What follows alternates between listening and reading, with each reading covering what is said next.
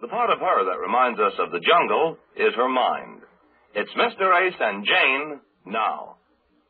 Reminder, it's Vaughn Monroe with Colonel Stoopnagle in charge of Laugh and Things tonight at 9.30.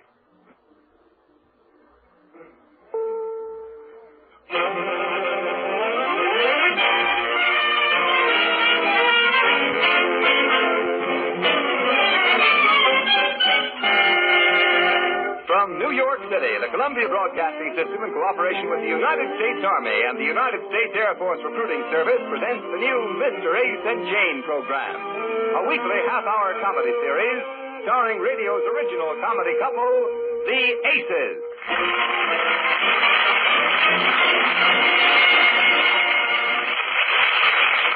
Once again, the strains of Manhattan Serenade introduce the story of Mr. Ace and his wife, Jane. Tonight, chapter three, entitled Mr. Ace tells Jane he's bringing home an important client to dinner and warns Jane to be careful of what she says. And Jane replies, Don't worry, I've got more brains in my little finger than I have in my entire head. And during dinner, she proves it. Or, as Mr. Ace puts it, How to grow old gracefully in one hour. The most fantastic thing happened to me. I'll tell you about it in just a minute. You know, America's young men are the biggest, healthiest, best educated young men in the world. Even so, the standards of today's Army and Air Force are so high that only 60% of these fine men can be accepted when they volunteer. Doesn't that give you a pretty good idea of the type of men that make up today's Army and Air Force? Well, if you need more proof, take a good long look at the next soldier you see. Neat, clean cut, resolute. Yes, you can put this in your pipe and smoke it. He's helping to do the most important job there is in America today.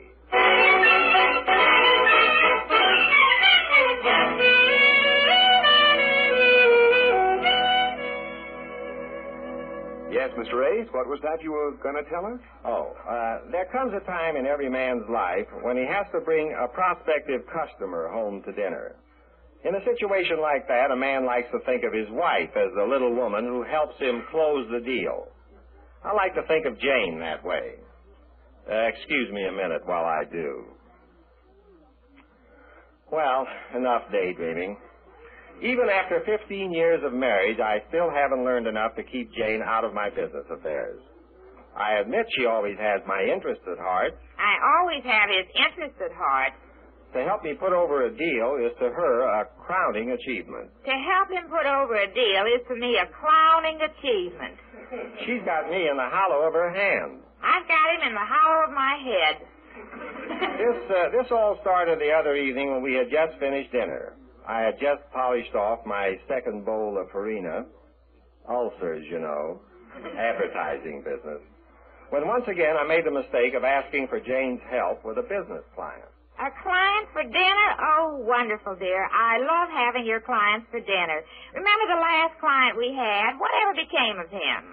Uh, the psychiatrist says he'll be okay in another year.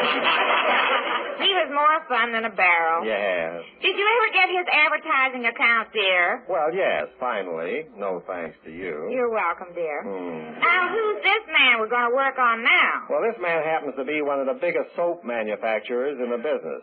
It's the biggest account our agency ever tried to get. And Jane, look, let's do this upright. I'd like to impress this man and his wife. She's coming too. Let's get a maid for that night when they come here, huh? A maid? They're going to be here Friday night. Oh, dear, why do we need a maid? Aren't you satisfied with my cooking? Oh, of course I am. That's not the point. Aren't you satisfied with my housekeeping? Jane, the point is I want to impress these people. Now, will you go up to the employment agency and get a maid for Friday night? Dear, I just want to ask you one question point blank. Answer yes or no. When did you first become dissatisfied with my housekeeping? Uh, yes. Oh, so you are. No, no, I mean no. Well, I mean, you said answer yes or, uh, isn't that awful? Why do I? Well, I guess I have to take the bitter with the better. Yes. Okay, I'll do it. But it's going to be embarrassing when I explain to them there's nothing wrong with my housekeeping. That we're just putting on the rich. Okay, Rich. Explain it if you have to. Who are these people we're putting on the rich for? I told you, he makes one of the most popular kitchen soaps in the country. You know that soap called Did? Did soap? That's what he makes. He does? No, Did. Did. Don't mention any other soap in front of him. He gets furious. He does? Not does, Jane. Watch your language.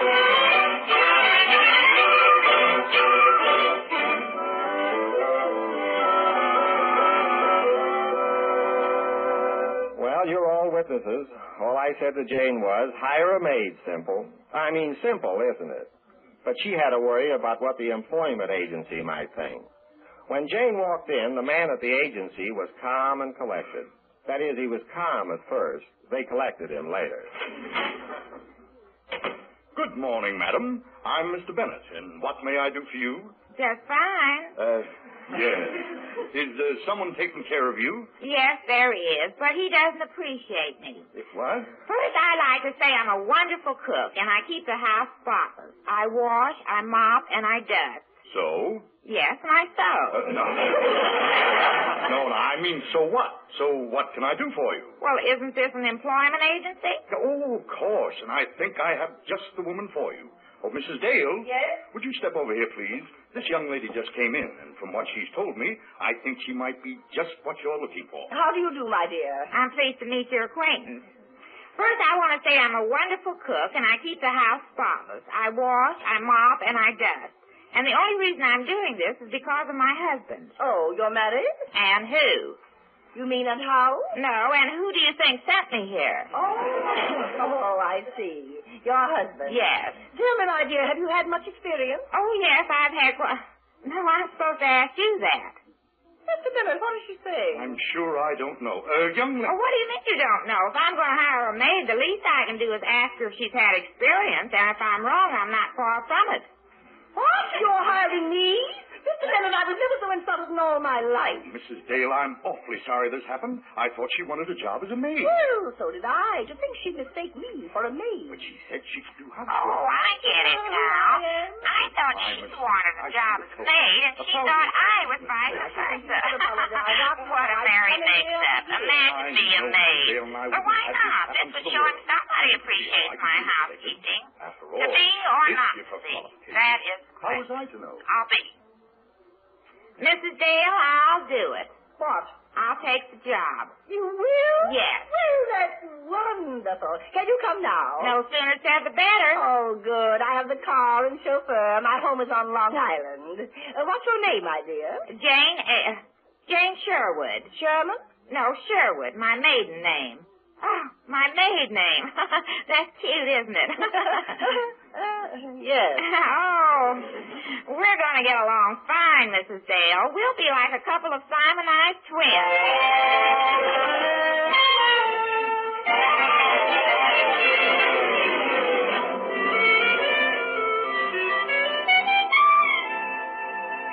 And, uh, and so Jane was taken for a ride in a big black sedan.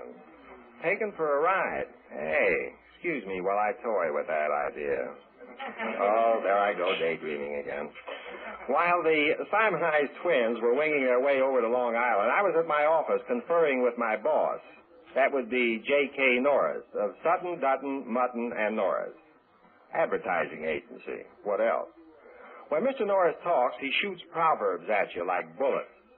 This morning he was particularly full of bullets. We were talking about landing the new did soap account.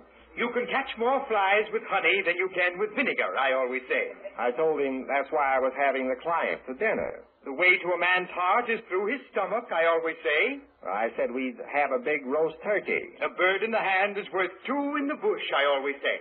And when I said the dinner would be a turkey, I didn't know I wasn't kidding. Mr. Norris was in my office giving it to me hot and heavy. Now, Mr. Ace, I cannot impress upon you too strongly the importance of the new did soap account. You know yourself what an eccentric client TJ is. I know. So I don't want anything to go wrong at that dinner, Mr. Ace. There's many a slip twixt cup and lip, I always say. Yes, I know, Mr. Twix. Uh, Mr. Norris. But there's nothing going wrong. Jane has even gone over to hire a maid for the occasion. Good, good. Oh, oh, yes, one thing is very, very important. To TJ, there's nothing else in life but did soap. He sleeps it, he dreams it, he eats it. Mm, maybe we shouldn't have turkey. Uh, Uh, what was that? I I say I know how important did soap is to TJ. Important. Why do you think TJ's changing advertising agencies now? Only because one of the account executives over at Swinburne, Marshall, Warwick, Atwater, Kensington, Hollingswood, and Vine made the mistake of mentioning a competitive soap in TJ's presence. No kidding. Who did that? I don't know. It was either Swinburne, Marshall, Warwick, Dadwater, Kensington, Hollingswood, or Pine. One of them mentioned another soap. No, but we'll be very careful. Don't worry about anything, Mr. Norris. Jane is making all the arrangements. Everything will be just fine. Well, if it isn't, this account will go to our competitors, Smith and Walters.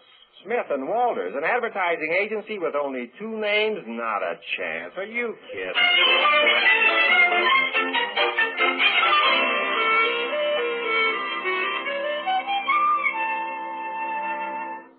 Don't worry about anything, Mr. Norris. Jane is making all the arrangements and everything will be just fine. Unquote.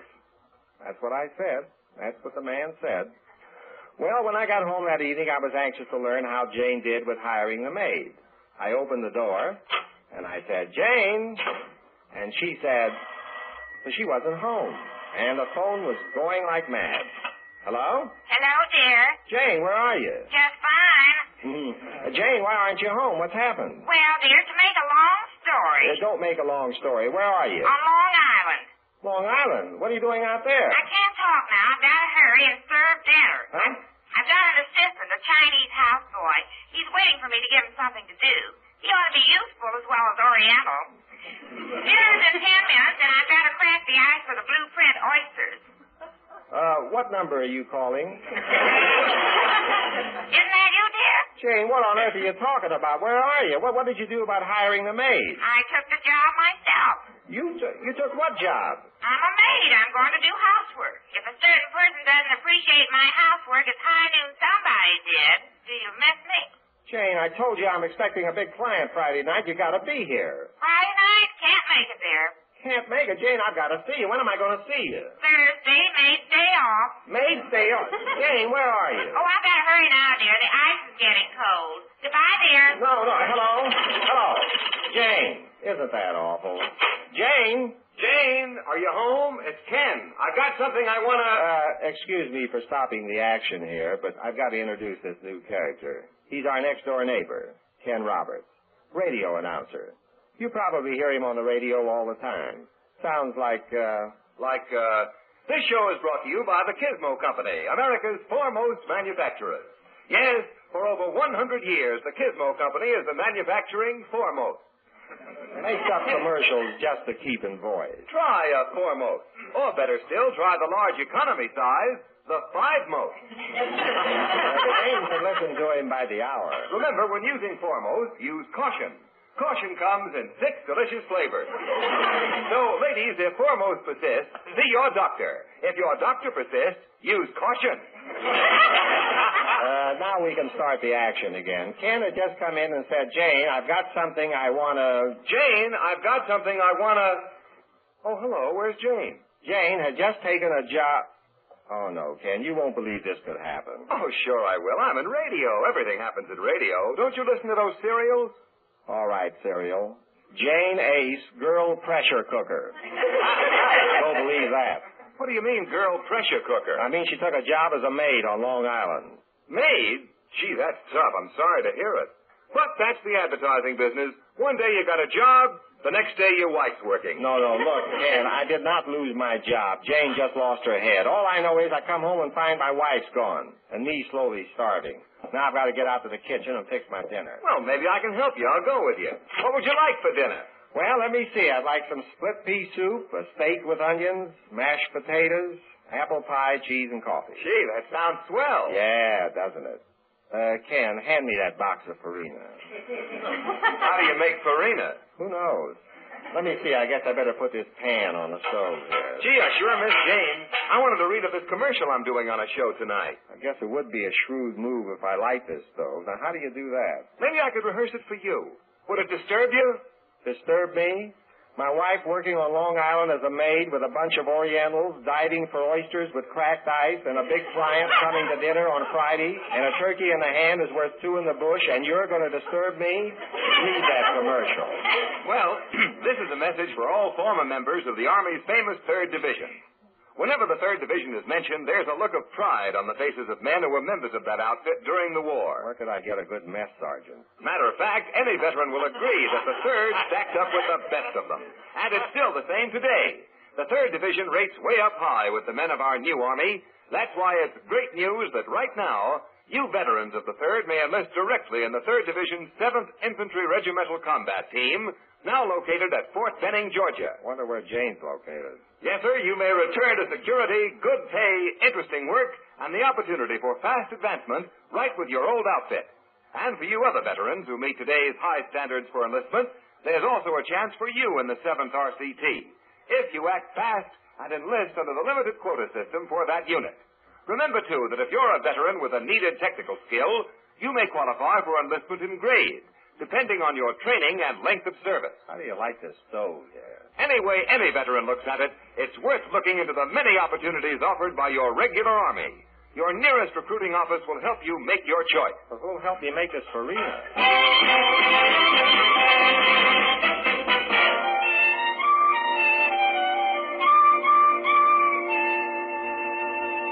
The next morning, I was having breakfast at my club. Club breakfast number two, eight over. But, uh, but Jane was serving a sumptuous repast out on Long Island. The way she explained it to me later, the first one down for breakfast was the master of the house. And what happened between him and Jane was really one for the book. A book that would have been banned in Boston. It went something like this. Good morning, my dear. Just fine. Uh, how does our new little maid like her job? Good morning.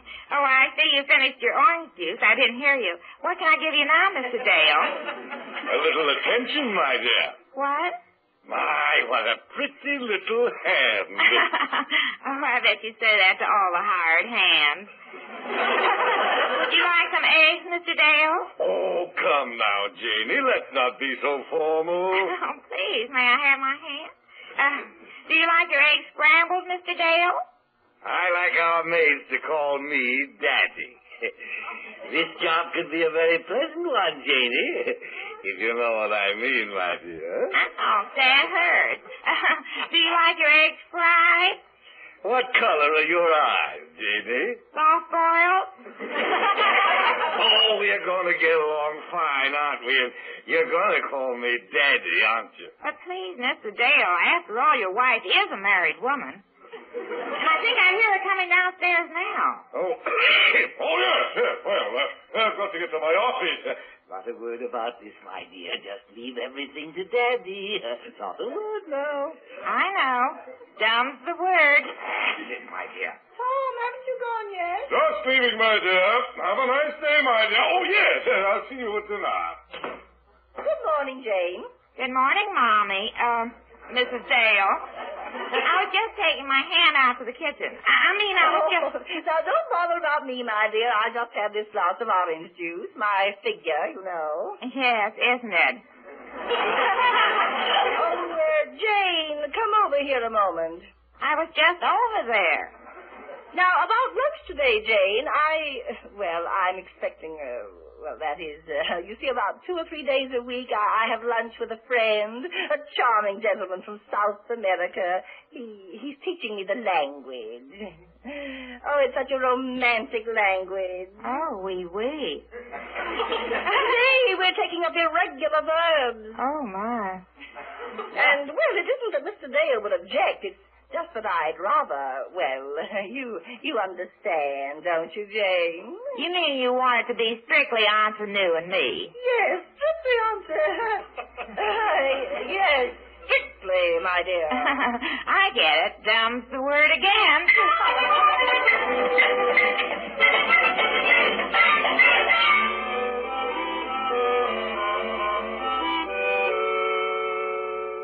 So Jane was sworn in as a member of the Long Island Secret Service. Of course, of all the homes on Long Island, Jane had to get into the home of a couple of great neckers. But, uh, but I had my own problems.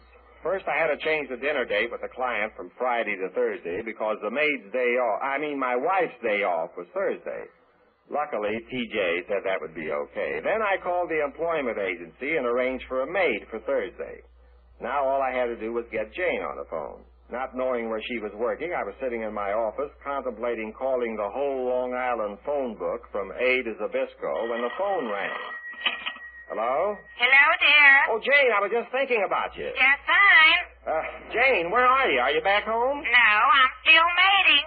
Mating? Do you miss me, dear? Jane, look, I've changed the dinner date with my soap client to Thursday night because you can't make it Friday. This is the biggest deal I've ever tackled. Oh, biggest deal. Is that all this means to you? You don't say a word about missing me. All right, Jane, I miss you. And can't get along without me? All right, I can't get along without you. And go ahead. And what? Go ahead. Say everything that's in your heart.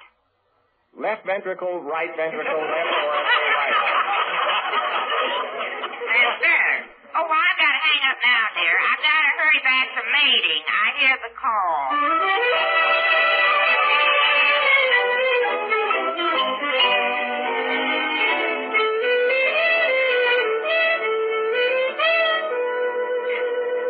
Well, I've uh, I've got half a mind to skip the dinner scene. It was gruesome, but I went through it, and so can you. It won't hurt too much. You'll only age three or four years. Here's the setup. It's five minutes before our guests are due to arrive. The maid I hired is in the kitchen, and I'm briefing Jane in the living room. Now look, Jane, when TJ gets here, we sit around for a few minutes and chat before dinner. And don't forget the name of his soap. Did. Did soap. I know the soap. That's all they use at Mr. and Mrs. Dale's where I work. Yes, and be sure not to mention and uh what what was that you you didn't say Dale. Yes, Mr. and Mrs. Dale. They've got more soap Uh, around well, the wait just a minute. Uh, which Dale? Thomas Jefferson Dale. Thomas Je- TJ, you were is that you mean Is your collar too tight, dear? uh, Jane, uh, tell me quick, you worked for Thomas Jefferson Dale? yes. Uh, do you know? That's my client. That's TJ. That's the man who's coming here tonight with his wife. Well, of all th- well, dear, you can knock me down with a fender. Don't tempt me. What do I do now? There goes my whole account. Say, what time do you want me to start serving dinner? I want to be out of here by nine o'clock. I hope this ain't one of them all-night affairs. Uh, just a minute, Helen. We're having a predicament. A what? Mr. Ace and I just found out we have some common friends. Wait, wait, wait just a minute. Uh, time is running out. Helen, Yeah? Look, Helen, I haven't time to explain now, but you've got to do me a big favor. Jane, Jane, I want you to take Helen's place in the kitchen. You be the maid. Helen, you've got to be my wife. Now, just a minute. Wait a minute now. There's, a, there's an extra five in it for you. Five dollars, please. You have to do this. Jane, take her apron. What are you standing there for? Well, I'm trying to figure it out. You want me to be the maid? Yes, and you say you took a job here for one night on your night off. Helen, all you have to do is sit around and act as if you're Mrs. Ace. Oh, I get it now. Well, that's pretty clever, dear. Do you think it'll work? If it doesn't, I won't. Take your apron. Uh, give me your apron, Helen. Okay, here, but everything's happening too fast for me. Too fast. All you have to do is act like the lady of the house, like my wife. You can do that, can't you? Like your wife? Sure. Straighten your tie. Stop biting your Okay. nails. Be careful of those Okay, okay. Don't overdo it. Now, Jane, get get out to the kitchen. Okay, dear. I hope they don't know me when I come out. I'll try to disguise my voice. Good luck, dear. Good luck, she says. I'll have to throw a seven the hard way. Oh, the door. I'll get it, Helen. Are you okay? I don't know what hit me, but I'll do the best I can. Okay. Well, here goes nothing. Well, good evening, TJ. Good evening, Mr. Uh, come in, come in. And Mrs. Dale, how do you do? I'm Mr. Ace. Good evening. Uh, go right in. Mrs. Ace is waiting. Uh, darling, Yeah? uh, uh, darling, this is Mrs. Dale. Oh, how do you do, Mr. Dave? Howdy. And, uh, and Mr. Dale. Good evening, Mrs. A. How you do? I'll take your things, folks. Thank you. Thank you very Uh, much. uh, sit down, folks. Uh, shall we have a little drink before dinner? Thank you. That'll be fine. nice little place you have here. Well, Mrs. thank A. you very much. Uh, sit down, won't you? Uh, thank Mrs. you. Dale over here and, and TJ. A lovely little apartment, isn't it, Martha? Oh, thank you. So bright and shiny. I suppose you use plenty of dead soap around here. Oh, sure, sure. dead soap. Only dead. I used to. What's that? Uh, darling, you mean did, of course. I used to did, now I use to. Mr. Is this your idea of a joke? I, I assure you it isn't. Uh, darling, please, you used did. I ought to know what kind of soap I use. I use enough of it. Do does what Dig used to do, but doesn't anymore. Mr. Ace, I bid you good evening. No, no, My not hat and coat, please. Uh, no, no, just a minute, Mr. please. Ace, you are quite obviously not the man for my account. come up. Oh, no. I've no. never so insulted in all my life. Right with Uh, you, just a minute, please. I can explain this whole thing. Listen, listen. This woman is not my wife. What? What? I, I mean, look. Uh, my wife is in the kitchen, and you're going to be surprised when I tell you why. My uh, my wife is is your maid. What? What did he Yes, say? your maid. She took a job with you. She didn't know who you were. I just found out this evening, uh, a minute ago. I, I was trying to cover it up. Honestly, it's the truth. I'll prove it to you. Uh, Jane, Jane, well, that's our new maid's name. that's what I'm trying to tell you. Jane. Oh, oh, here she is. Jane. Yeah, how's the boss. Somebody called for Jane. Jane, please. They, they know about it. This, this is my wife, aren't you, Jane? I had a day off, so I took a job No, here for no, one night. no, no. It's all over. It's Oh. all over. They know about it. Jane, Jane, are you married to this man? Yes, I am, Mrs. Dale. Tom, this man is evidently emotionally unstable. Two wives, both maids. Oh, no. Good night, Mr. Ace, and goodbye. But, Mr. Dale, please. Good night, Jane, and you didn't come back to your job, of course. Good night, Mrs. Ace. Uh, good night, Daddy. What was that? What did she say? Oh, well. Daddy knows what I said. Martha, my dear, maybe we've been a little hasty. Thomas Jefferson Dale, if you give this man your account, I'll leave you. Oh, but my dear. Uh, going to South America, Mrs. Dale? What, Uh, what's well- this? Well, I mean, uh, uh, Tom, perhaps you're right. Perhaps we have been a little hasty. Uh, Just what I was thinking. Yes. Well, Mr. Ace, how about those drinks we were going to have? Drinks? Oh, oh, sure. What's going on? Uh, uh, yes, yes. Uh, Helen, uh, Helen, bring in the dead martinis. I mean the dry martinis.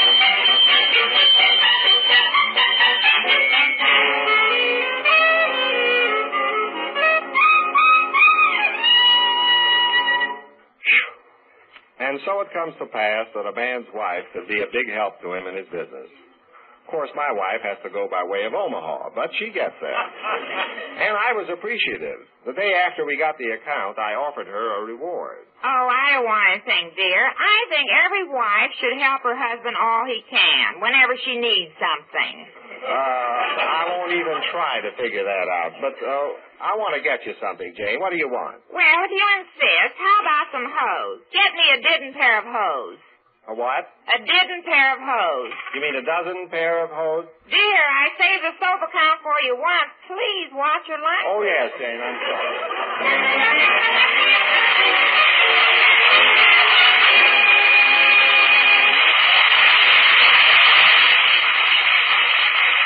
In just a moment, I'll give you the title of Chapter 4 of the story of Mr. Ace and Jane.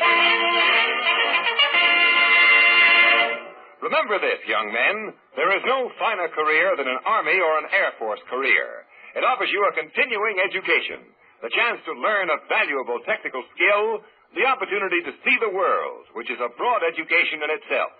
Now, let's look at the practical side, too.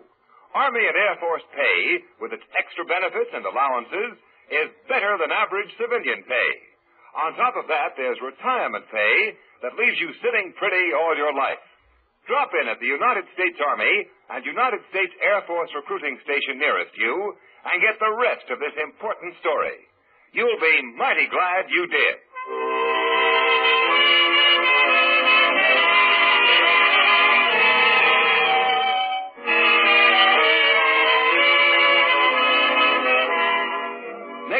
Mr. Ace and Jane will bring you Chapter 4 entitled Jane Discovers Hidden Talent in a Newsboy, and Mr. Ace has a client interested in putting on a radio program. So Jane puts two and two together, gets a Hooper of 4.6, and before Mr. Ace can stop her, Jane has a discovery on the air. Or, as Mr. Ace puts it, To err is human, to forgive divine. Good night. Me too.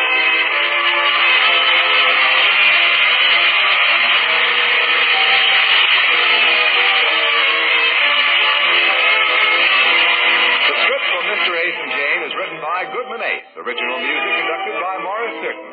In the supporting cast tonight were John Griggs as Mr. Dale, Evelyn Barton as Mrs. Dale, Pert Kelton as Helen, Cliff Hall as Mr. Bennett, Eric Dressler as Mr. Norris, and this is Ken Roberts announcing that you may hear Chapter 4 of Mr. Ace and Jane next week at this time over CBS, the Columbia Broadcasting System. This is WCBS New York. Did you enjoy hearing Mr. Ace and Jane? You'll enjoy seeing them, too. If you'd like free studio tickets for a future broadcast, write Mr. Ace and Jane, 485 Madison Avenue, New York 22, New York. They'll be mailed promptly.